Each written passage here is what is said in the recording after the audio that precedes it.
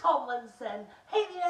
Hi, Corey. You're a big Kids Stars fan, and your favourite presenter is me. Thank you so much, and thank you for watching Kids Stars. Have a brilliant Tuesday.